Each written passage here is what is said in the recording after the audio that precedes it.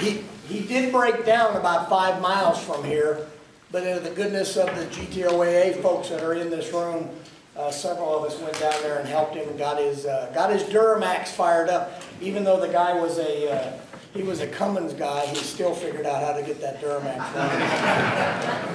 So ladies and gentlemen, Arnie Beswick.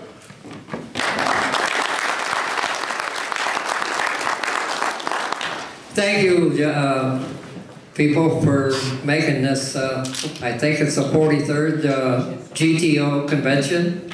Uh, appreciate you being here. Uh, I've been to a lot of these conventions. I didn't make them all because back in the real full-time race days, I would make commitments to different racetracks to be there, and they didn't like it when I tried to cancel out, so most of the time I made the race events and had to take a pass at the uh, convention date.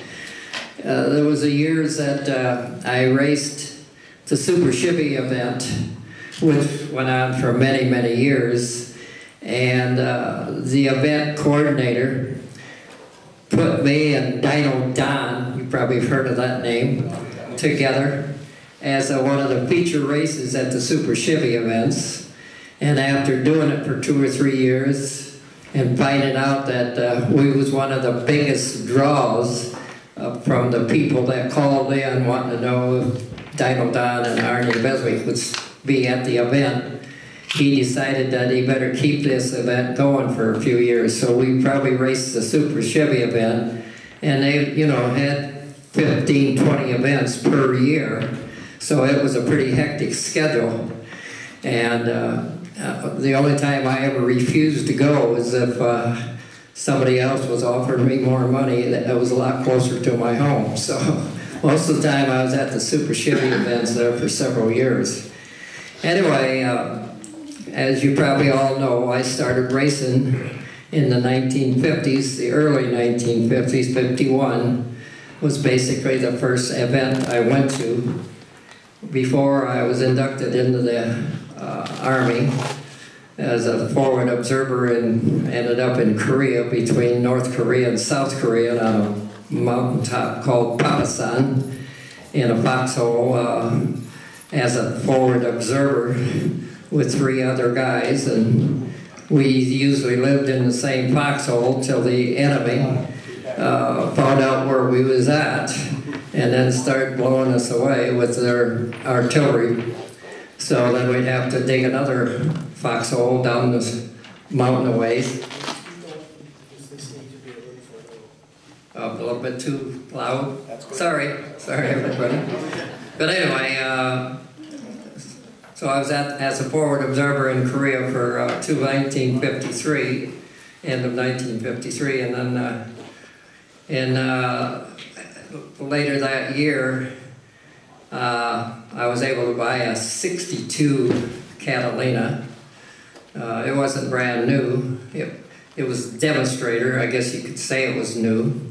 But uh, I kept that and I raced that in 1960, uh, uh, excuse me, 54 and 1955 and and as you probably know, in 1956, and maybe you don't know, a local Dodge dealer talked me into driving a Dodge D500-1, which was a pretty good kick-butt car because it had a little 318 cubic inch Hemi motor.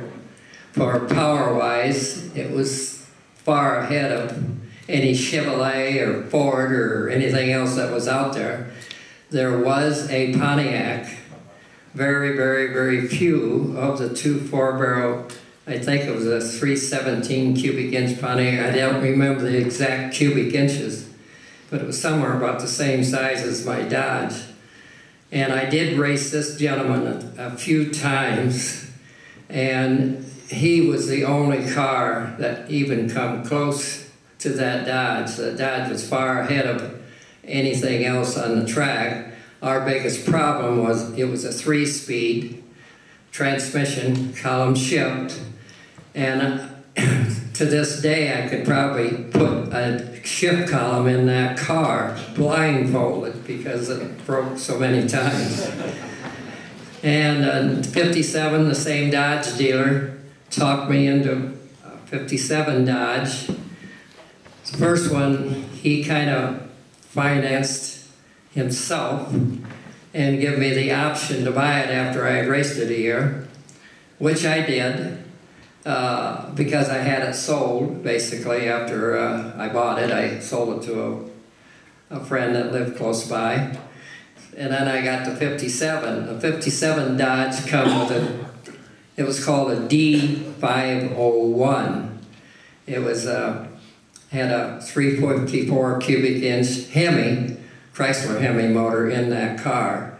Now that car was not even close to being competitive with what the 56 was because that, that Hemi motor was way too heavy and it was sticking out front quite a bit further in the chassis than what the Dodge uh, 56 did. So I did win some races once they allowed the slicks, but boy, with a street tire, when they was still going with street tires like we had to run in 56, the fuel injection Chevys and the, there was a few bad Fords back in those days too.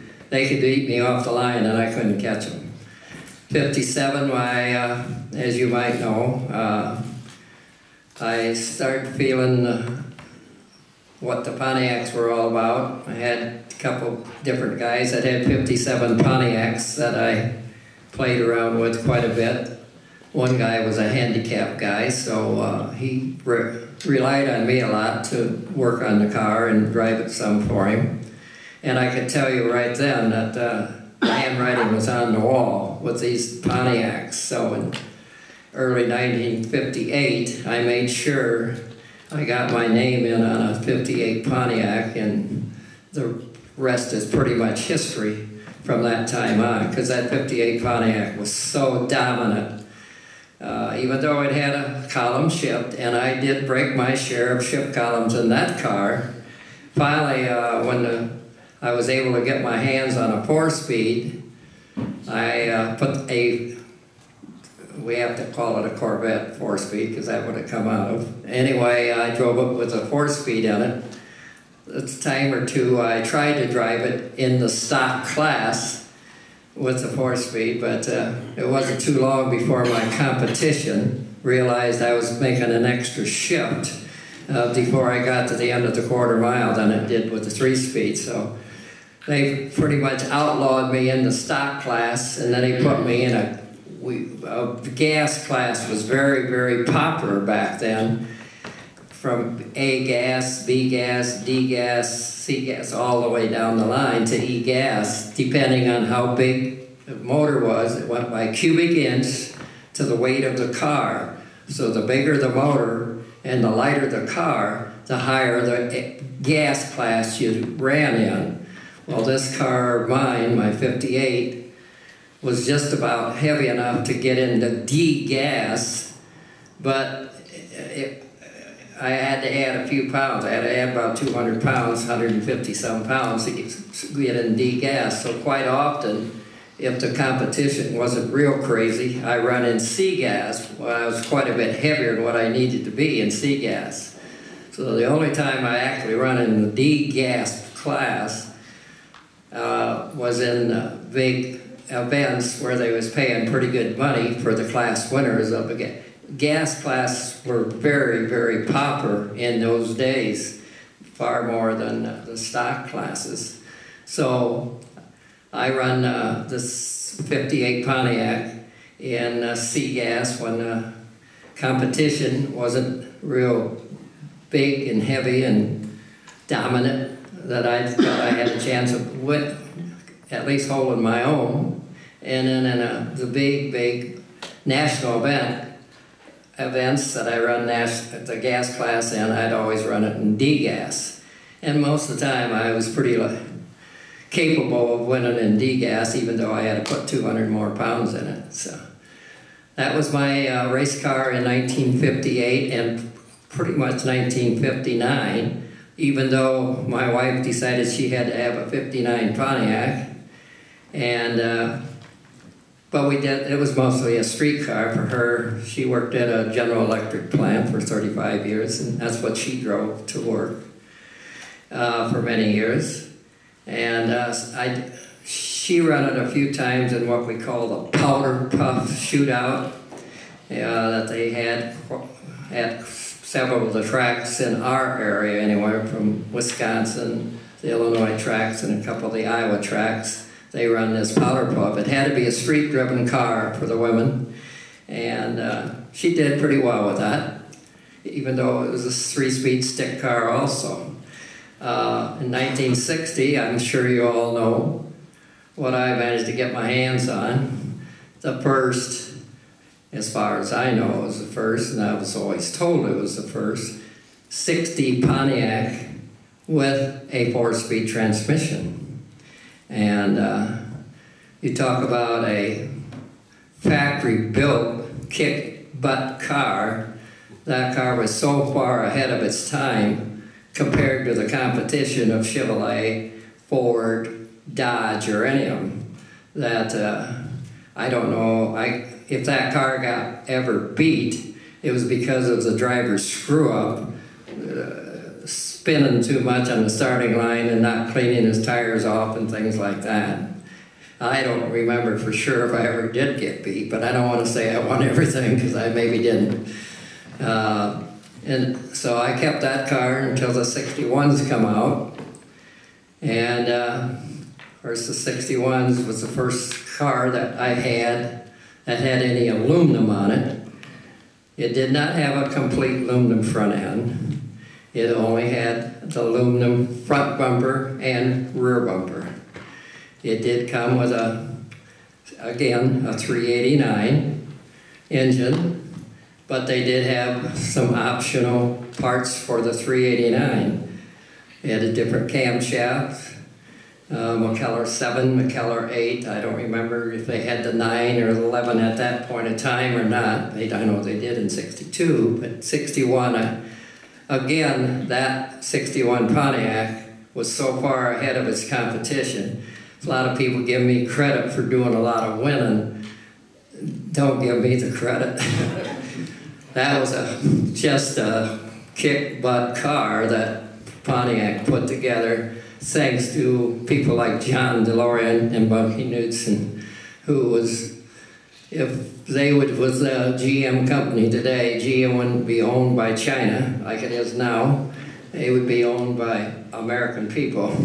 So John DeLorean and Bunkie Knudsen was just two of the greatest men that Pontiac ever had under their roof.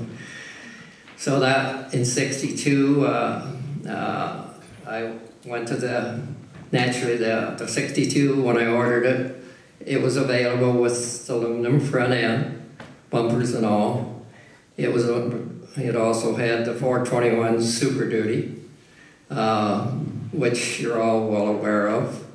And again, that 62 was just so dominant in competition events that I went to, and I traveled some pretty good miles with that 62, far more than I did any of the other cars because the southern tracks start getting a hold of the idea of having these big super stock races.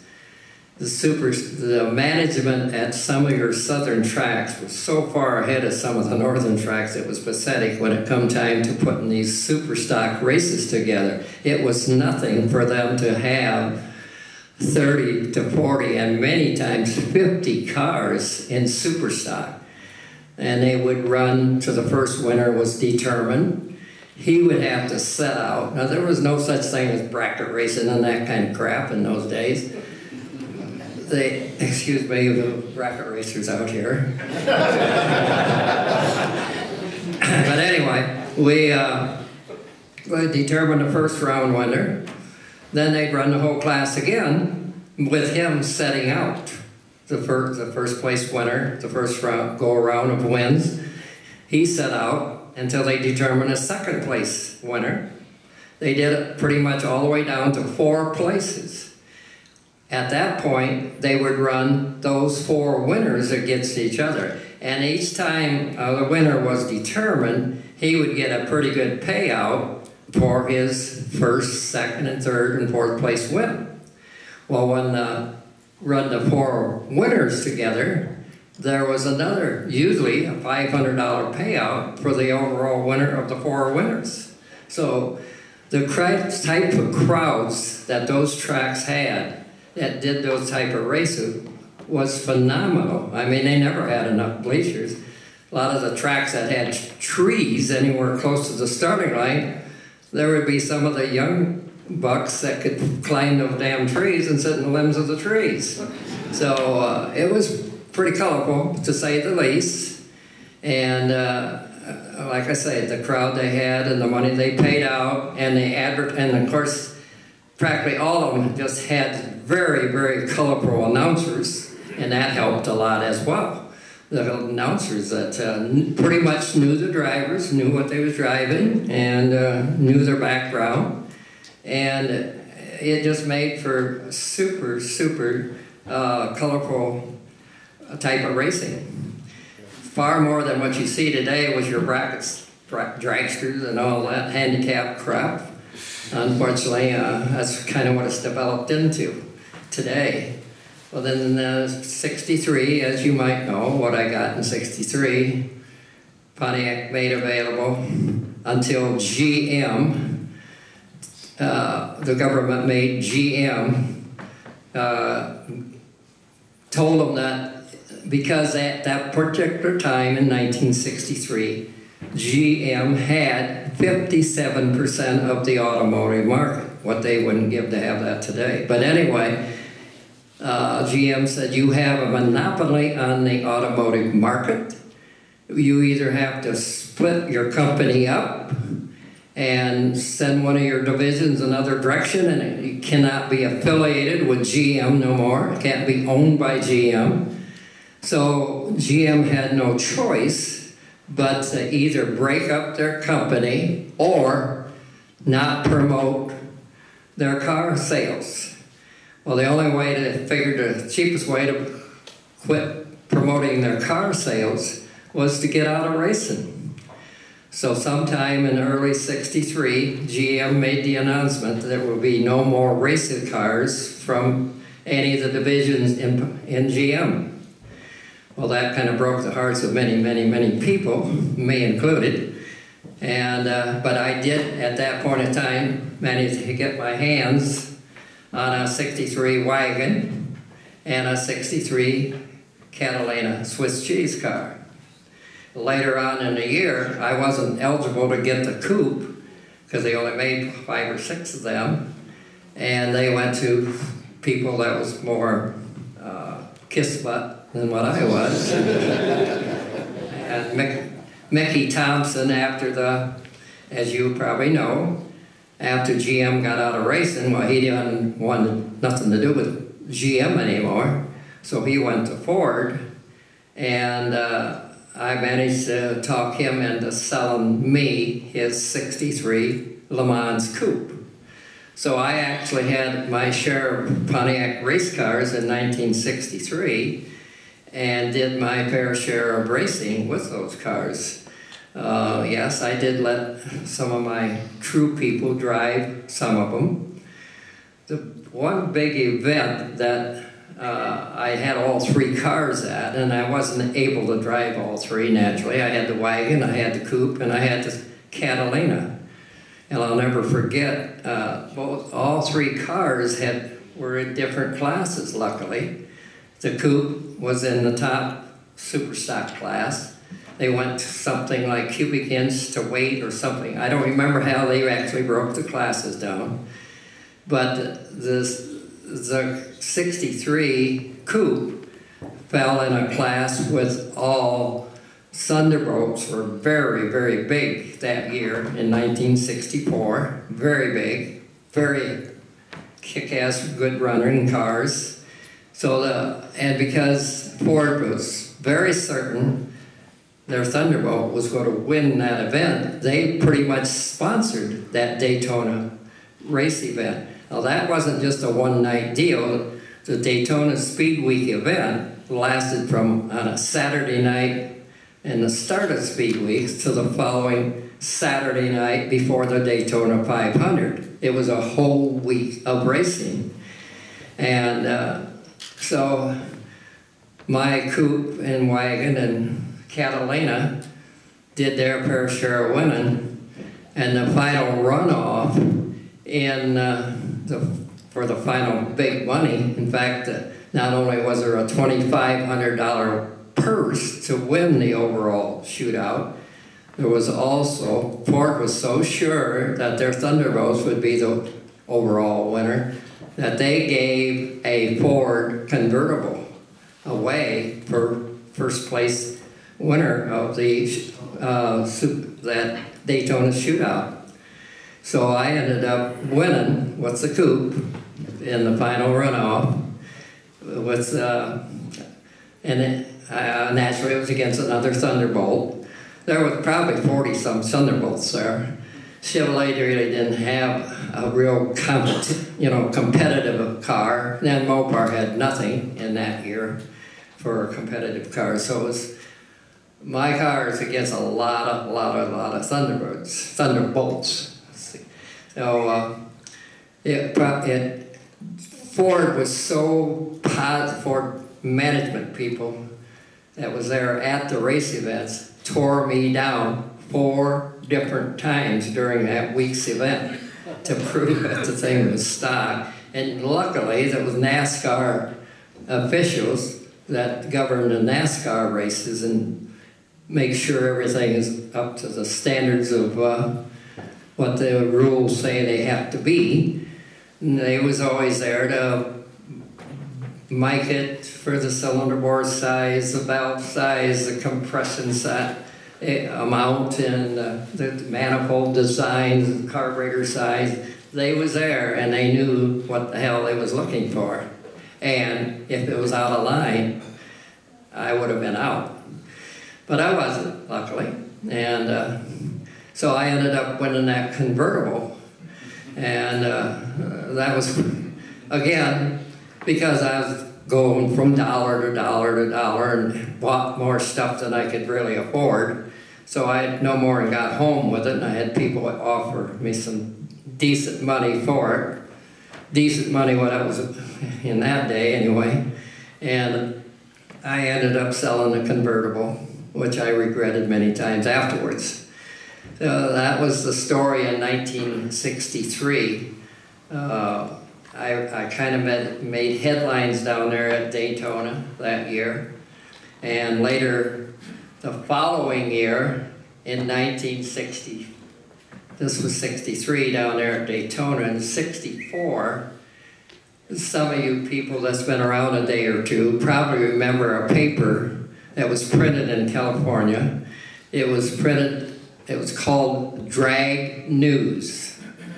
And the lady that printed it, her uh, family, Chet Herbert, was her brother, who I think might still be living today. He had a huge, huge engine shop as well as a camshaft company. So this woman, Doris Herbert, really knew how to put a newspaper together. It was all about drag racing, and she had lots of lots of uh, uh, people that helped her write these columns about the different areas of race events around the country of uh, USA. Well, this particular year, because she had so much pressure to do this event, she decided to put together a drag news superstock invitational. She did that at a track in Ohio, and anybody that won any amount of superstock races that year or the previous years and had any kind of name in superstock was invited to that event to run in the superstock invitational. Well, yes, my name got drawn out of the hat too. And uh, anybody you could name that had raced a superstock car and did any kind of winning whatsoever was there. from the Don Nicholsons to the net Ramchargers to, to the Golden Commandos to the Granny Sox, uh, uh, Dick Brannan, you name anybody that was had raced in that time period previous to that event was all there because of the this magazine. I don't want to call it a magazine, paper, newspaper that just Doris Herbert put together. It was so popular that everybody just bent over backwards to make sure they got a little bit of print in her uh, drag racing magazine. So uh, it was a huge event, and uh, luckily again, uh, my I did have both cars. Uh, my uh, I didn't have the coupe at that time. I had it, but it I had gotten it from Mickey Thompson, and it was pretty well beat up. When I got it engine-wise, it smoked terrible, and it didn't have the potential it needed to be competitive out there, so I never took it there. I just had the coupe, or excuse me, the wagon and the 63 Catalina. Well, the final run for the big money at this event ended up between me and Dyno Don Nicholson. Well, it was pretty close, half track, and uh, I think I was a little bit ahead of him.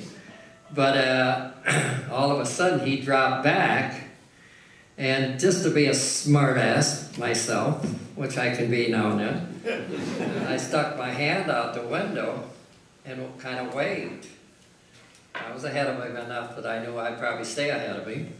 And I'll never forget what he did in return. He was so, can I use the word pissed? Anyway, he, he was so upset, let's use that word. Uh, he actually kind of halfway opened the door and stuck his hand out and made sure I seen his finger. So that was the talk of that particular event after that particular run, actually.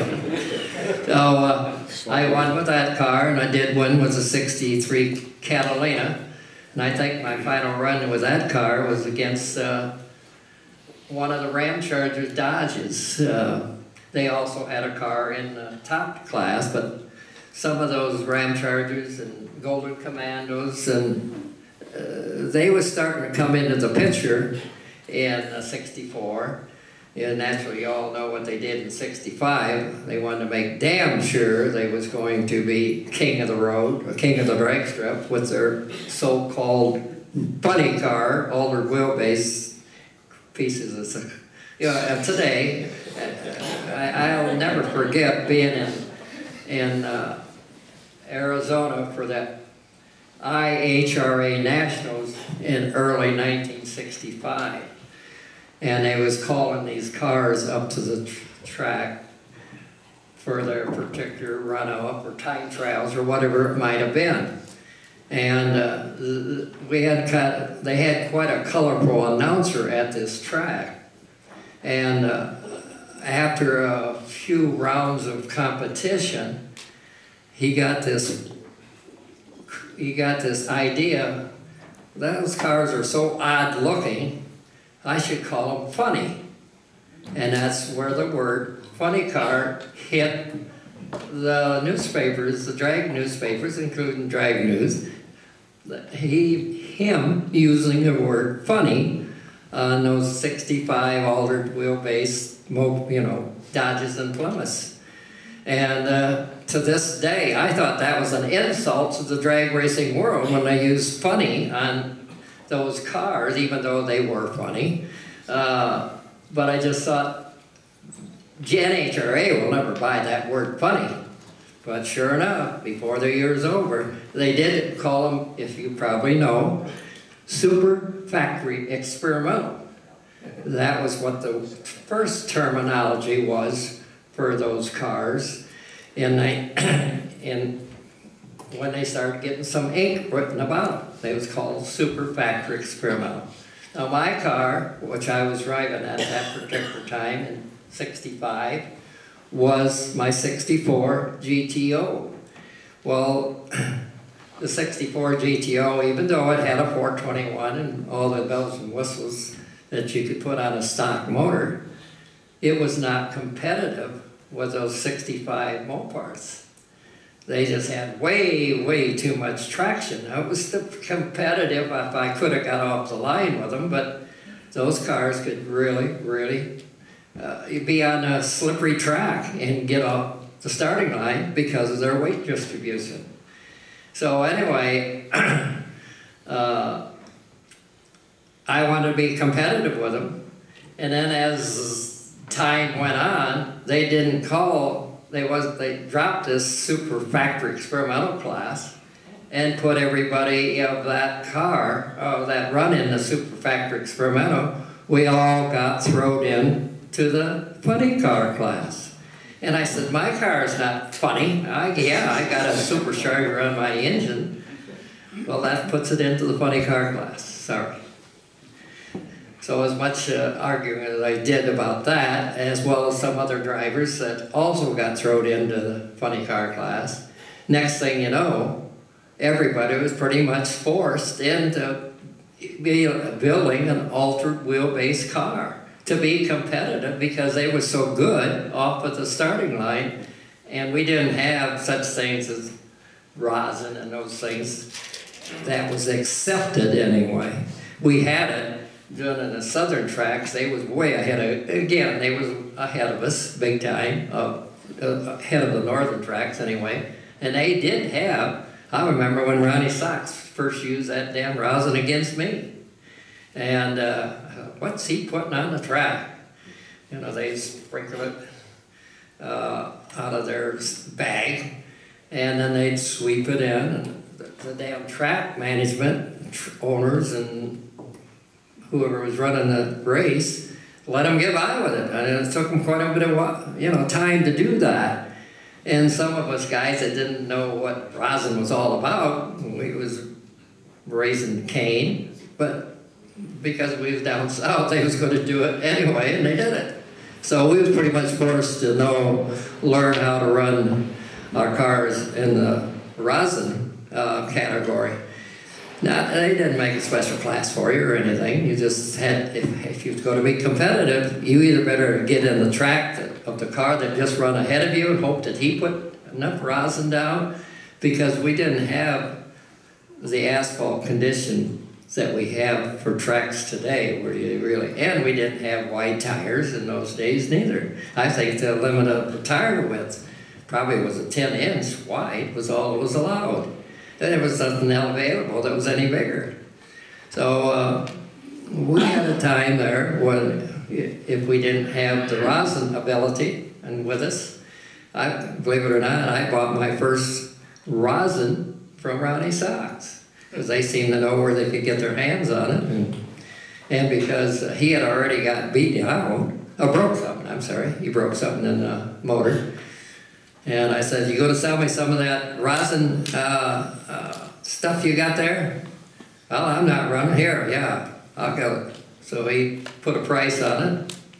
I had the money. It wasn't that crazy. You know, I think he said 10, 15 bucks, if I remember right, for a little bag of it and uh, it really, really, really helped. And that was the first I had had any experience in it. And I think at the time, I was at a track in uh, Greensboro, North Carolina, that uh, was kind of a, the track owner advertised the track as cow pasture racing at its best.